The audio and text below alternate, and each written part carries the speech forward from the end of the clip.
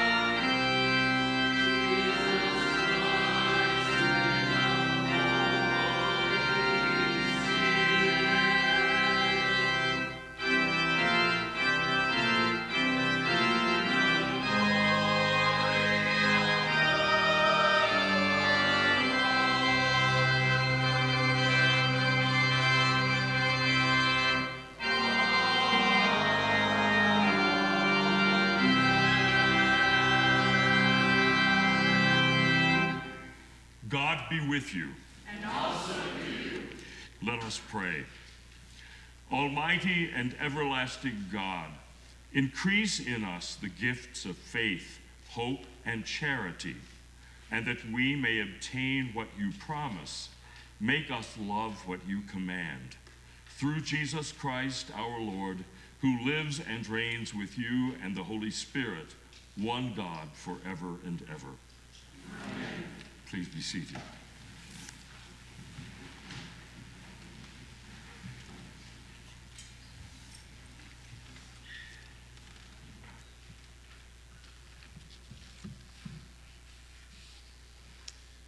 A reading from Leviticus. The Lord spoke to Moses, saying, Speak to all the congregation of the people of Israel, and say to them, You shall be holy, for I, the Lord your God, am holy. You shall not render an unjust judgment. You shall not be partial to the poor, or defer to the great. With justice you shall judge your neighbor. You shall not go around as a slanderer among your people, and you shall not profit by the blood of your neighbor. I am the Lord. You shall not hate in your heart any one of your kin. You shall reprove your you shall reprove your neighbor, or you will incur guilt yourself. You shall not take vengeance or bear a grudge against any of your people, but you shall love your neighbor as yourself. I am the Lord. Hear what the Spirit is saying to God's people. Thanks be to God. Let us read responsively at the half verse. Happy are they who have not walked in the counsel of the wicked, nor lingered in the way of sinners, nor sat in the seats of the scornful.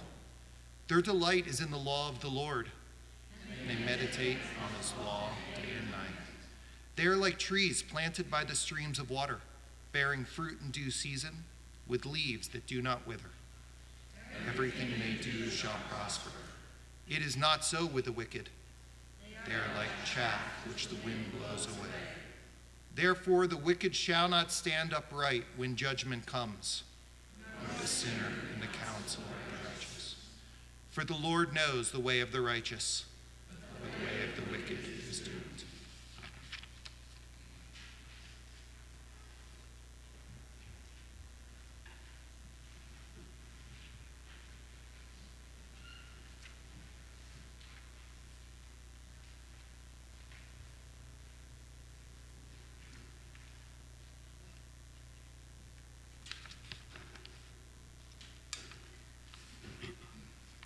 A reading from 1 Thessalonians. You yourselves know, brothers and sisters, that our coming to you was not in vain. But though we had already suffered and been shamefully mistreated in Philippi, as you know, we had courage in our God to declare to you the gospel of God. In spite of great opposition, for our appeal does, does not spring from deceit or impure motives or trickery, but just as we have been approved by God to be entrusted with the message of the gospel even so, we speak not to please mortals, but to please God, who tests our hearts. As you know, and as God is our witness, we never came with words of flattery or with the pretext for greed, nor did we seek praise from mortals, whether from you or from others, though we might have made demands as apostles of Christ. But we were gentle among you like a nurse tenderly caring for her own children.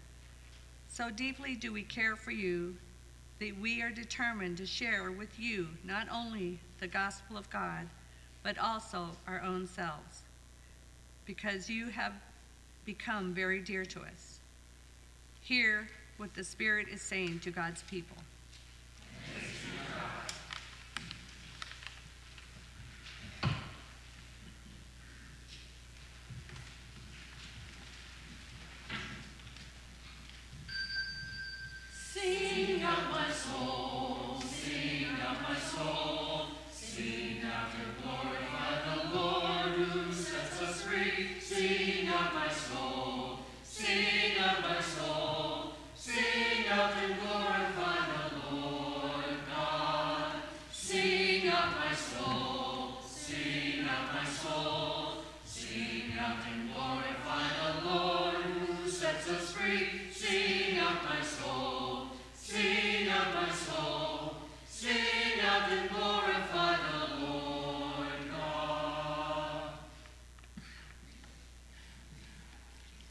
Gospel of our Lord Jesus Christ according to Matthew.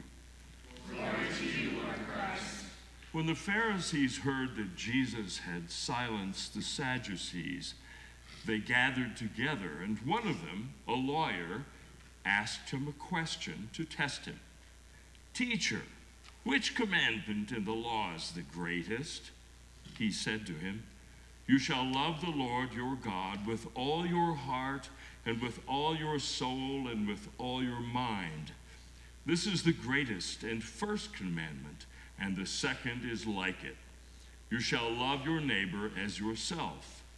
On these two commandments hang all the law and the prophets. Now, while the Pharisees were gathered together, Jesus asked them this question What do you think of the Messiah? Whose son is he? They said to him, The son of David. He said to them, How is it then that David, by the Spirit, calls him Lord, saying, The Lord said to my Lord, Sit at my right hand until I put your enemies under your feet? If David thus calls him Lord, how can he be his son? No one was able to give him an answer nor from that day did anyone dare to ask him any more questions. The Gospel of the Lord.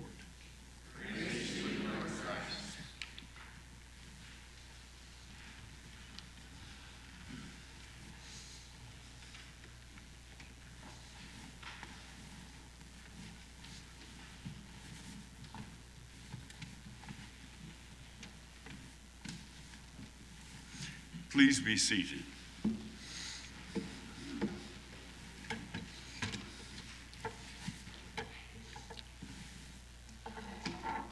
If there are any of you who secretly desire Rite One or remember it, you will know the two great commandments from the very beginning of that service. Jesus' last week on earth continues in our gospel readings, and the Pharisees were still at it, putting Jesus to the test, trying to stump him before the crowds. This time, an expert in the Jewish law asked him the question Teacher, which commandment in the law is the greatest? Of course, everyone within earshot knew the answer to that one. Good Jews pray this text from Deuteronomy 6, 4 through 9. Make note of that Deuteronomy 6, 4 through 9, twice daily. The prayer is called the Shema, which is Hebrew for hear or listen. Listen, O Israel, is how it begins. Hear, O Israel, the Lord our God, the Lord is one. You shall love the Lord your God with all your heart and with all your soul and with all your might. It goes on from there, but that is the very beginning of it. Jewish teaching on this subject was clear and absolute, and Jesus knew it really well. This is the greatest commandment. But before the lawyers could take a breath and follow up, however, Jesus continued with a line from today's Leviticus reading that Brett read to us, a line which they also would have known. He continued, and a second is like it you shall love your neighbor as yourself. On these two commandments hang all the law and the prophets. Rabbis, Pharisees, temple lawyers, any good Jew would have known these two verses and could have recited them in their sleep. All Jesus did was condense the Ten Commandments. Commandments 1 through 4 equal love God and honor God. And commandments 5 through 10 love and honor your neighbor. This is fundamental human ethics in the sight of God. This reply was as brilliant as it was simple. In Jesus' condensed form, its truth is inescapable. Jesus' genius was not that he created new doctrines um, that, wo- uh, that would have wowed the people, nor was it his ability to preach interesting sermons. His genius was in his clarity of vision, his ability to distill all of Israel's 613 complex laws and life to its very essence of two. This was, Jesus was able to simplify the complex with unarguable clarity. In fact, there's quite a bit of ink spilled throughout the Gospels where Jesus says, if you love God, show it by loving all of God's children, all of God's children. God is not very much on mushy feelings. Jesus says, in essence, put your money where your mouth is. What I get from that is that the word love is first and foremost an action verb. When I was in my early teens, I had the great fortune of having a pastor in this little country Methodist church our family belonged to. And this pastor understood that the gospel was all about love. In how he talked to us, in how he treated others, in how he talked about others, in how he worked with kids, in how he preached, and in how he sang, it was most obvious to all of us youngsters and to most of our oldsters in the congregation that Pastor Tom Ellisor exuded love because he knew it and he lived it. He loved God. And because he did, so we came to know and love God as well as all of God's children who were made in God's image.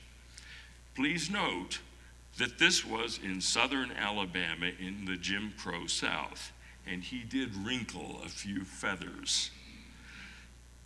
We kids got the message.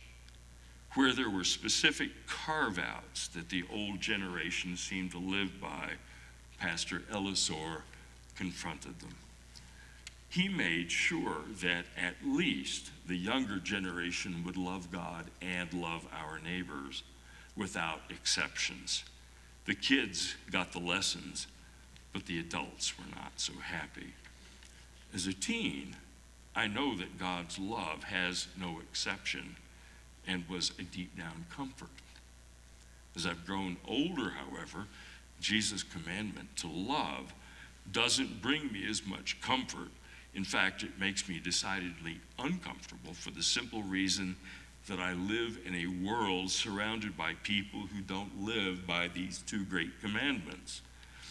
It's one thing to know that God loves us unconditionally, it's quite another to realize that in the final judgment, our ability to show love to others is the ultimate barometer of how we love God. When I watch the evening news, I see the world that I pay taxes to seems to do all it can to not live by the great commandments. I'm not talking religion here, but basic human ethics. All the network news each evening has to end with a feel good story. Have you noticed that? It mollifies the bad taste that all of the other stories for the last 27 minutes and all the advertisements left us with. All it does is remind me that this world we've built is going fast to hell, and we're not doing anything to change that. Jesus doesn't seem to care that our theology is sufficiently up to snuff or that we attend church regularly. I suspect that he does care that the so called Christian nationalists are trying to call the shots in our government and are doing anything but showing love. No, what Jesus seems to really care about is whether we have seen the image of God in the least of our sisters and brothers and have loved them as such. He too lived in a time of political turmoil, of war, when the political powers that ran things destroyed the temple in less than 40 years after they crucified him. When we see the homeless sleeping on park benches and digging through the dumpsters uh, full of discarded pizza swill behind Mackenzie River for a morsel of crust to eat, do we see Christ or do we see something else? Do we become something less ourselves? If we aren't living love as a verb, we aren't following Jesus and we aren't fixing this terrarium that God left us with to care for. Jesus' radical call to love doesn't end there. Jesus calls us to love and to see the divine image in the least of his children, and yes, even in our enemies. In terms of worldly logic, this does not make any sense at all. We have to have enemies, don't we? After all, we have a military. It just seems foolish to try and love our enemies enemies who may hate us or even want to kill us. But in terms of the soul, Jesus' call to love is the only thing that really does make sense. It really is all or nothing. If, when we open our eyes, we cannot see God in all things, we fail to perceive God. If we cannot see God in all things, we worship a God we have manufactured. We may see beauty, power, and majesty, but it may not be God. If God is in our enemies, how can we not love them? As the law points out today in Leviticus, we may need to reprove them. Boy, there's a word that did not come up at the breakfast table this morning. Reproving someone doesn't mean we don't love them. We reprove our teenagers when they're growing up. Our politicians, for example, need reproving and not our disdain, much as we prefer the latter. Right, your congressmen and your senators. The Pharisees knew all the words of Scripture, but perhaps without knowing their deeper meaning. They knew that we are called to love God with all our heart, soul, mind, and might. But they failed to recognize that one cannot love God if one does not love the neighbor. Perhaps the Pharisees could be excused, but we can't. We know we have no excuse for acting as if we don't know any better. We do. Will we act in love, or will we hold on to our fears and our grievances? Ultimately, whether or not it makes sense to love our neighbors and our enemies, this I know. Without this love, our lives do not make sense. They only make sense in God, the God who is love itself. I'm going to close with a little story. There was a famous monastery which had fallen on very hard times. Formerly, its many buildings were filled with young monks, and its big church resounded with the singing of chant. But now it was deserted. People no longer came there to be nourished by prayer. A handful of old monks shuffled through the cloisters and praised God with heavy hearts. On the edge of the monastery woods, an old rabbi had built a little hut. He would come there from time to time to fast and pray. No one ever spoke to him, but whenever he appeared, the word would be passed from monk to monk. The rabbi walks in the woods. And for as long as he was there, the monks would feel sustained.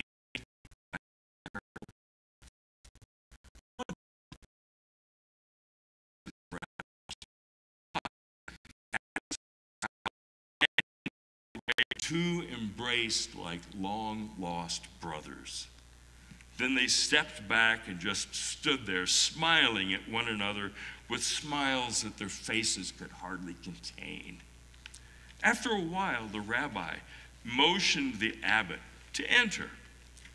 In the middle of the room was a wooden table with the scriptures on it. They sat there for a moment in the presence of the book. Then the rabbi began to cry. The abbot could not contain himself. He covered his face with his hands and began to cry as well. For the first time in his life, he cried his heart out. The two men sat there like lost children, filling the hut with their sobs and wetting the wood of the table with their tears. As the tears had ceased to flow and all was quiet again, the rabbi lifted his head. You and your brothers are serving God with heavy hearts, he said. You have come to ask a teaching of me. I will give you a teaching, but you can only repeat it once. After that, no, no one, no one must ever say it aloud again. The rabbi looked straight at the abbot and said, The Messiah is among you. For a while, all was silent. Then the rabbi said, Now you must go. The abbot left without a word and without ever looking back. The next morning, the abbot called his monks together in the chapter room. He told them he had received the teaching from the rabbi who walks in the woods, and that his teaching was never again to be spoken aloud. Then he looked at each of his brothers and said, The rabbi said that one of us is the Messiah. The monks were startled by this saying. What could it mean? They asked themselves. Is Brother John the Messiah? Or, or Father Matthew? Or Brother Thomas? Am I the Messiah? What could this mean? They were all deeply puzzled by the rabbi's teaching, but no one ever mentioned it again. As time went by, the monks began to treat one another with a very special reverence. There was a gentle, wholehearted, human quality about them now, which was hard to describe but easy to notice. They lived with one another as men who had finally found something. But they prayed the scripture today, uh, together as men who were always looking for something. Occasional visitors found themselves deeply moved by the life of these monks. Before long, people were coming from far and wide to be nourished by the prayer life of the monks. And the young men were asking once again to become part of this community. In those days, the rabbi no longer walked in the woods. His hut had fallen into ruins. But somehow or other, the old monks who had taken his teaching to heart still felt sustained by his prayerful presence.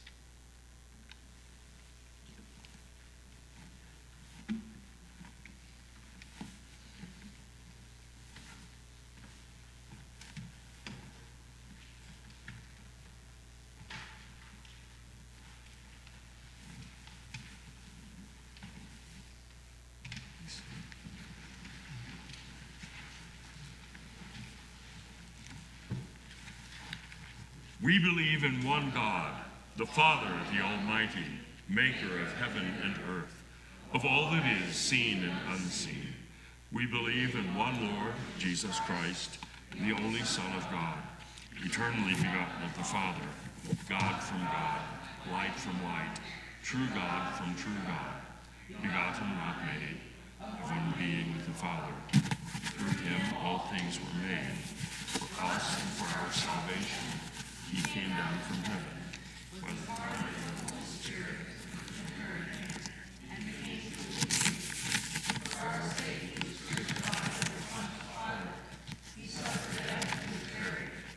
On the third day, he rose again in accordance with the scriptures. He ascended into heaven and is seated at the right hand of the Father.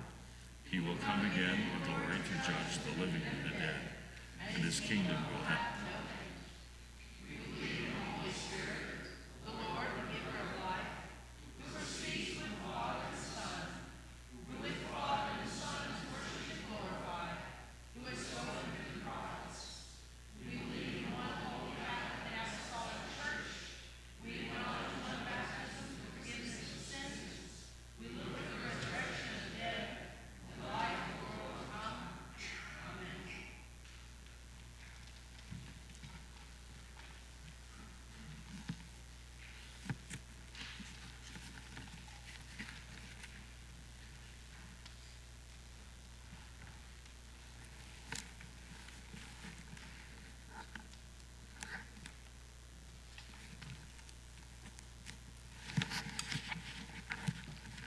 Friends, the Lord has been your refuge from one generation to another.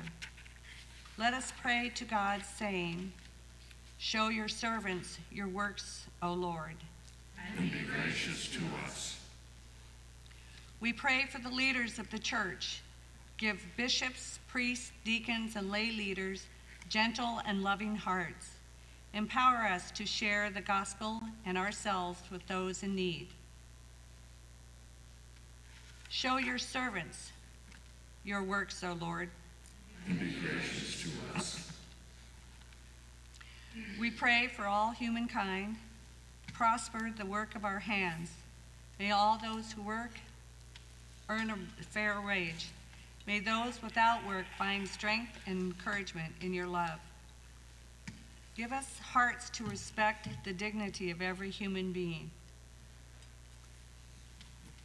Show your servants your works, O Lord. and be gracious to us. We pray for all creation. We, you brought forth the mountains, you gave birth to the land and the earth. Give us the desire and will to care for all you have made.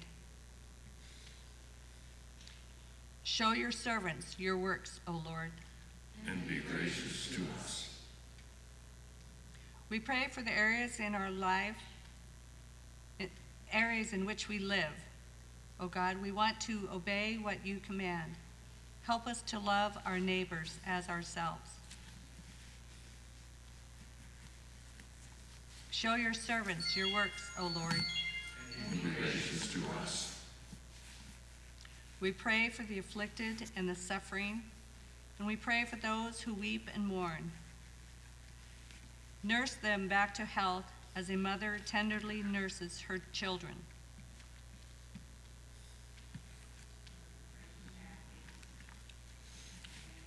For Linda.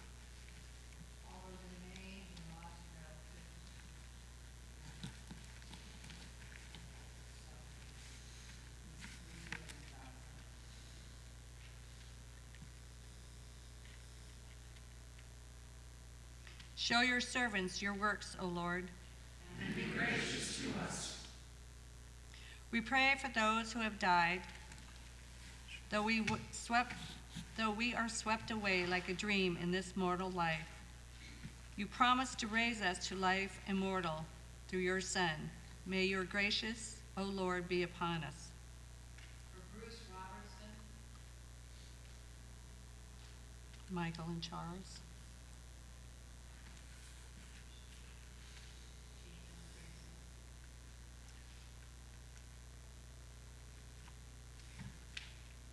Show your servants your works, O Lord. and be gracious to us. Let us confess our sins to God.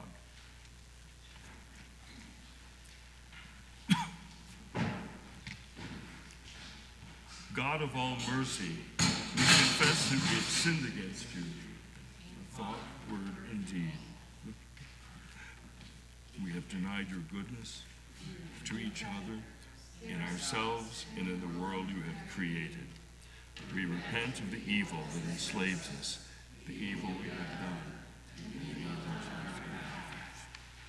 Forgive, restore, and strengthen us through our Savior Jesus Christ, that we may love and serve only your will. Amen. Almighty God, have mercy on you, forgive you all your sins through our Lord Jesus Christ, strengthen you in all goodness, and by the power of the Holy Spirit, keep you in eternal life.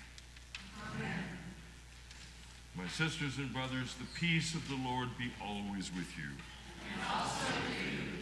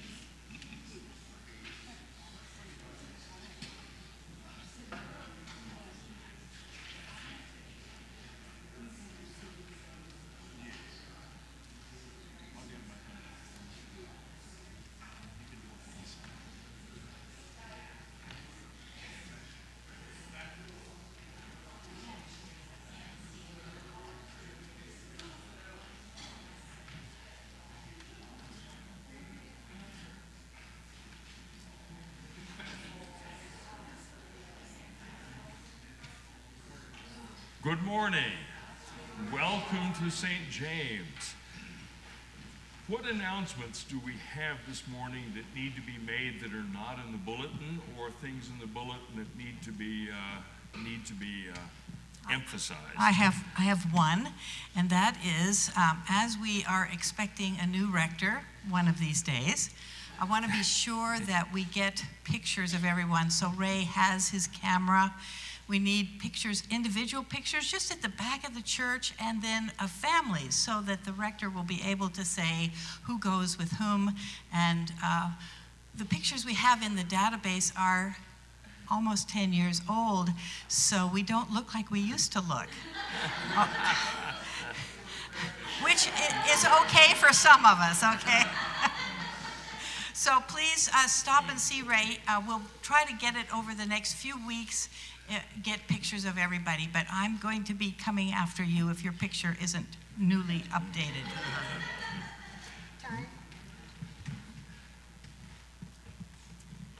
Um, I'm assuming some of you are already aware of this, but for those of, the, of you that aren't, uh, Reverend Sweeney, uh, Sylvia Sweeney, was hacked, and so were a lot of us, and we all received uh, texts asking for money. Don't do it. Whatever you do, uh, spread the word to others that you know. Um, it's, it's an old hack, but it still is very damaging. So if you get something, my first clue was the phone number was not her phone number. and uh, that was the first clue that something was wrong. So just be very aware if you get something from her, she did not send it. that has happened to the dean of our cathedral several times now in his tenure here. Uh, another announcement?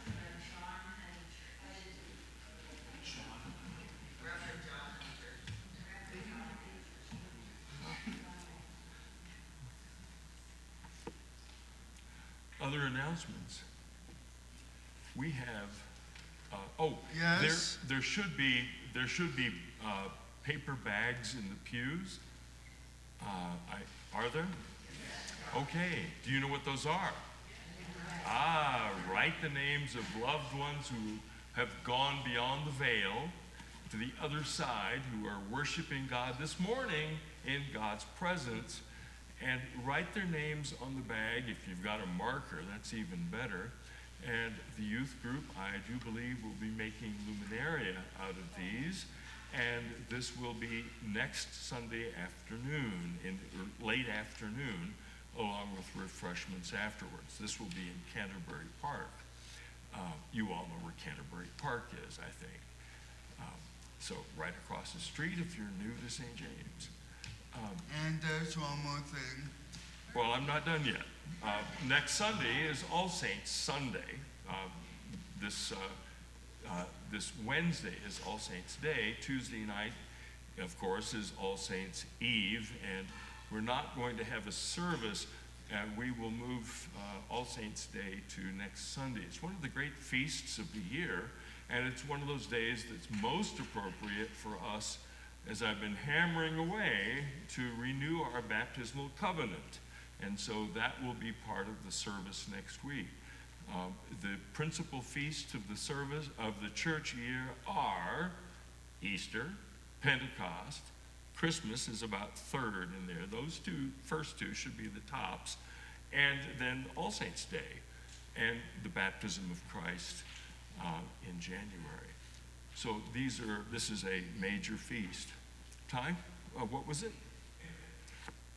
And there is coffee hour after the service downstairs.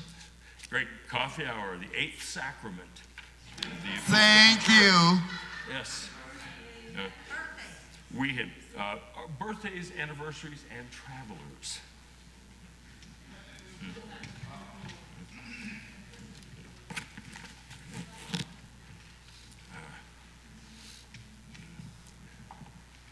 Uh, Judith does travel a lot. All right. Uh, great. Uh, we will we will pray the prayer for birthdays, travelers, and anniversaries.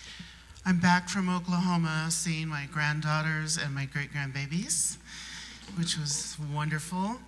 And I'm back from Washington, D.C., where um, I was flown out for an AA, a big AARP event.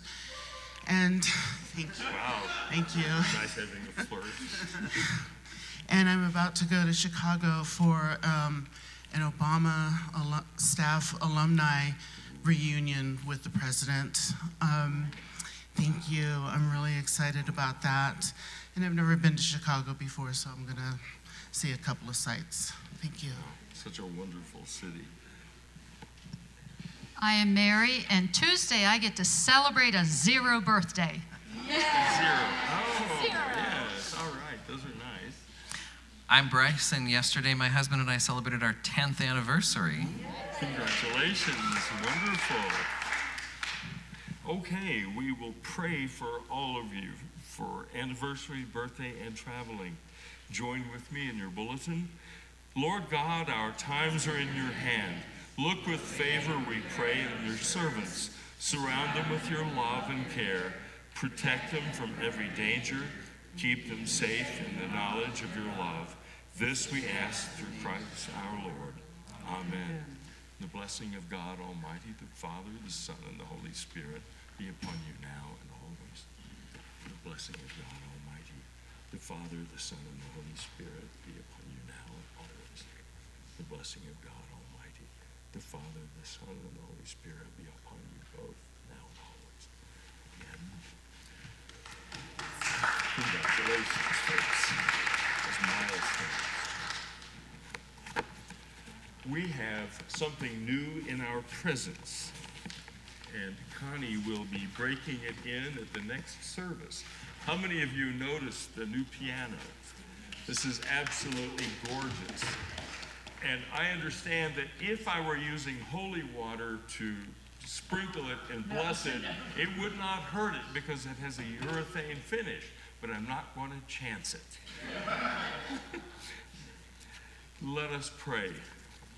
Connie, do you want to be here with it? Since she's the one who will be making it sound. Stay for the second service to hear this beauty. Ah, ah, yes. They sing to the tambourine and the lyre and rejoice to the sound of the pipes. Praise him with the sound of trumpet. Praise him with lyre and harp. Let us pray. O God, before whose throne trumpets sound and saints and angels sing the songs of Moses and the Lamb, accept this beautiful piano for the worship of your temple that with the voice of music we, we may proclaim your praise and tell it abroad through Jesus Christ our Lord. Amen. Thank you. You're welcome. And now we can play it.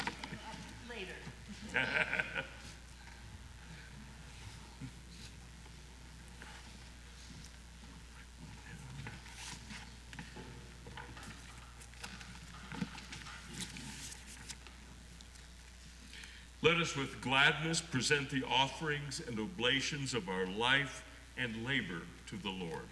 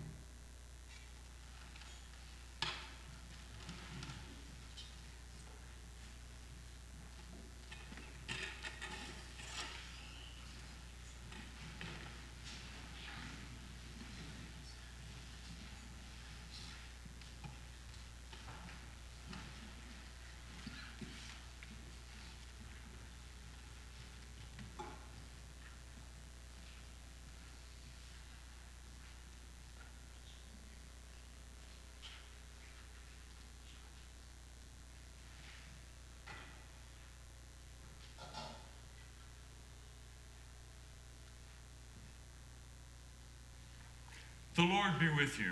And also with you. Lift up your hearts. We lift them to the Lord. Let us give thanks to the Lord our God. It is right to give our praise. We praise you and bless you, holy and gracious God, source of life abundant. From before time you made ready the creations. Your spirit moved over the deep and brought all things into being sun, moon, and stars, earth, winds, and waters, every living thing. You made us in your image, taught us to walk in your ways, but we rebelled against you and wandered far away. And yet, as a mother cares for her children, you would not forget us. Time and again, you called us to live in the fullness of your love. And so this day, we join with angels and saints and with the chorus of praise that rings through eternity, lifting our voices to magnify you as we sing.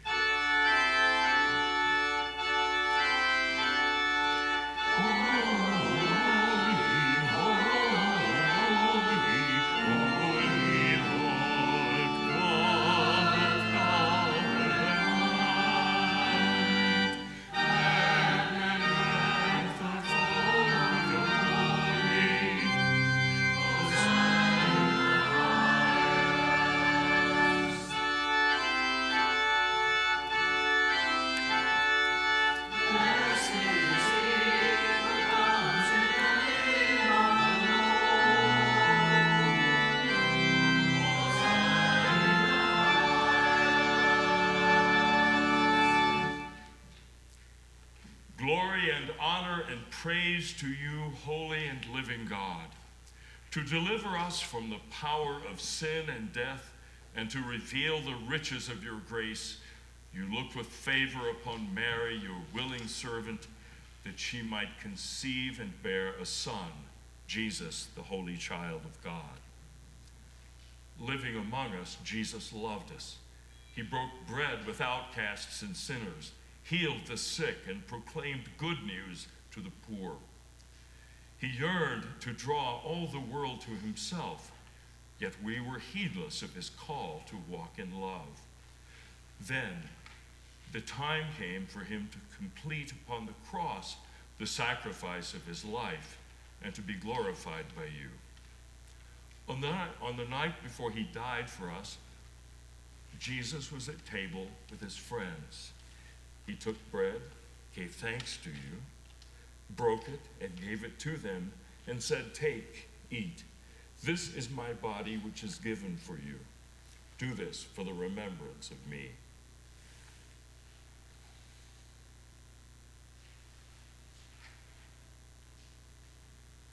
As supper was ending, Jesus took the cup of wine. Again, he gave thanks to you gave it to them, and said, Drink this, all of you. This is my blood of the new covenant, which is poured out for you and for all for the forgiveness of sins. Whenever you drink it, do this for the remembrance of me.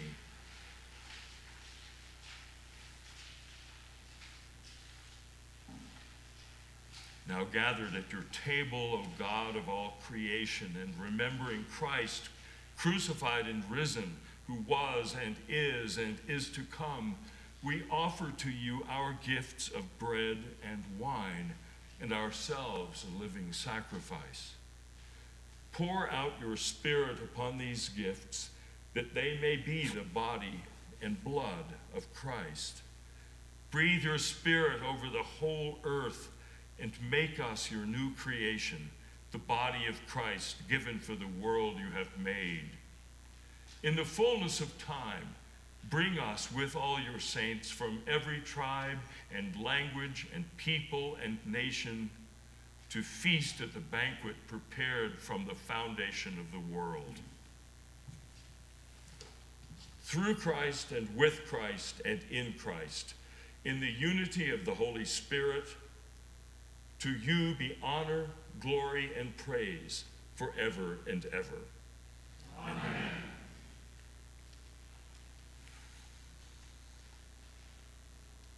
And now let us pray in the prayer language of our hearts. Our Father in heaven, hallowed be your name. Your kingdom come, your will be done, on earth as in heaven. Give us today our daily bread. Forgive us our sins as we forgive those who sin against us. Save us from the time of trial and deliver us from evil. For thine is the kingdom, and the power, and the glory, forever and ever. Amen.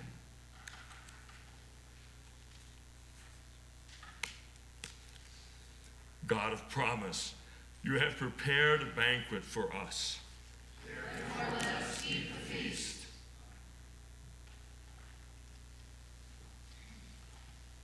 The gifts of God for the people of God.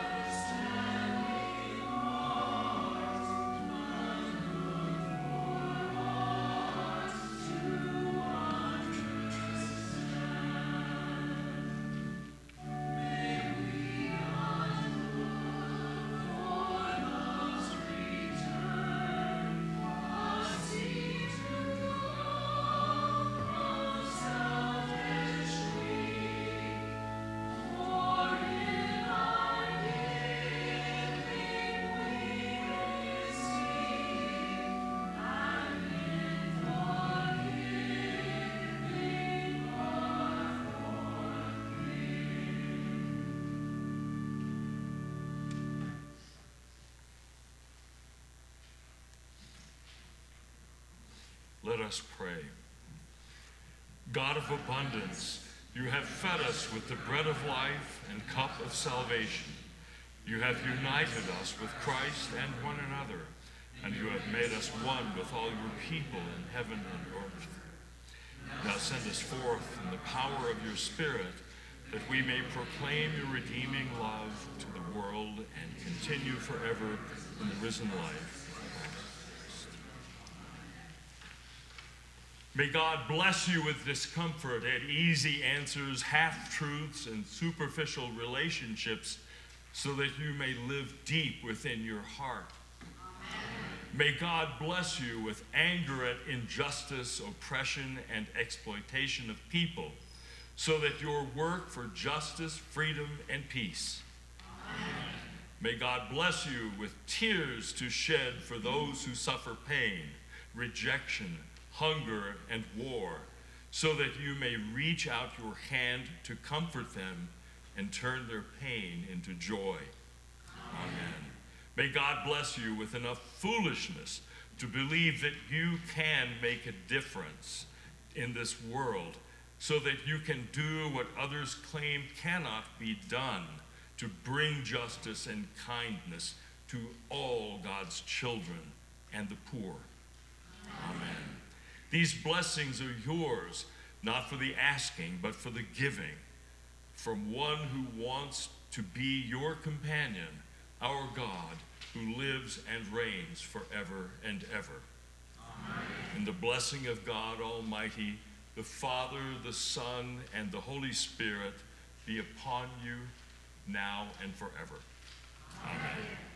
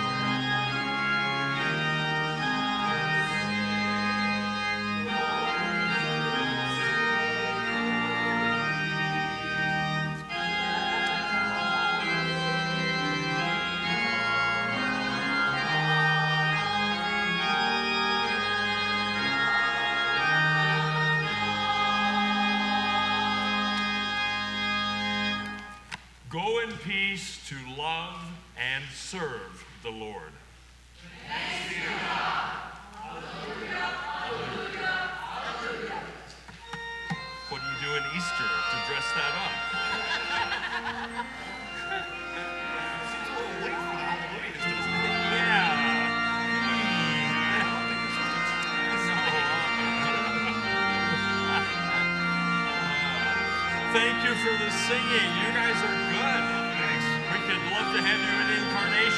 Incarnation in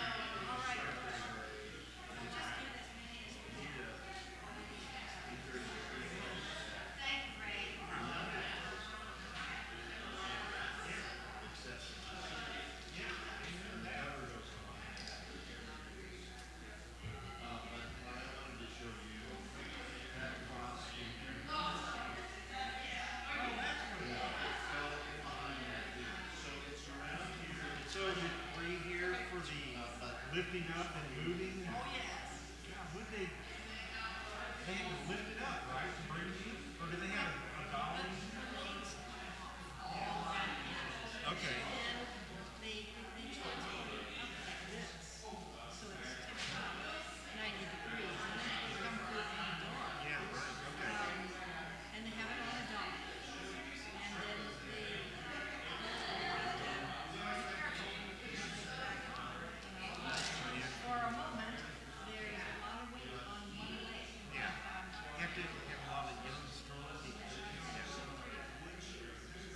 Then what we can